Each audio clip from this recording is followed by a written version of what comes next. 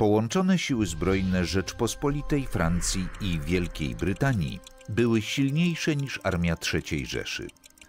Polska była więc zdecydowana bronić swojej suwerenności za wszelką cenę. Jak wyglądały polskie plany wojenne? Wojsko polskie miało przetrwać niemieckie uderzenie, wycofać się na wschód, a gdy nad Renem uderzą Francuzi, przejść do kontrofensywy i wyzwolić Polskę. Bez sojuszników Polska nie miała szans na wygraną. Hitler postawił więc Wehrmachtowi dwa zadania: rozbić wojsko polskie na zachód od Wisły i zrobić to tak szybko, żeby Francuzi i Brytyjczycy nie zdążyli wypowiedzieć wojny III Rzeszy. Polacy przyjęli uderzenie niemieckie tuż przy samej granicy.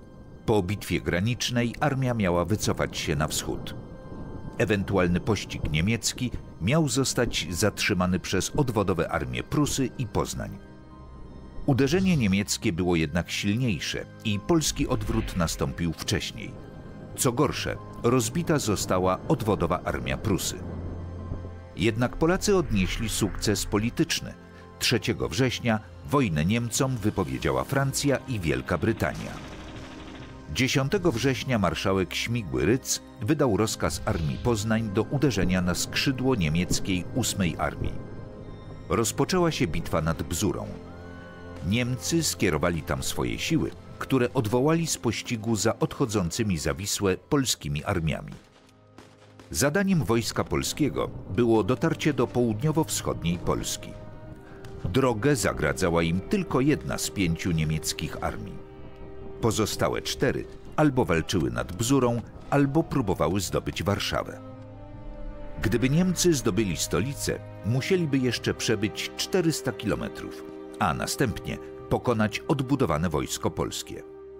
Jednocześnie musieliby odpierać francuską ofensywę, która miała rozpocząć się 21 września.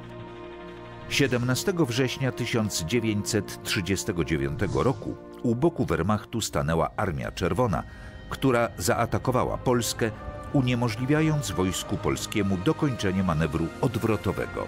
Polacy ewakuowali się na Rumunię i Węgry, a Francuzi wstrzymali swoją ofensywę. Polski plan nie powiódł się, a II wojna światowa miała trwać jeszcze sześć długich lat.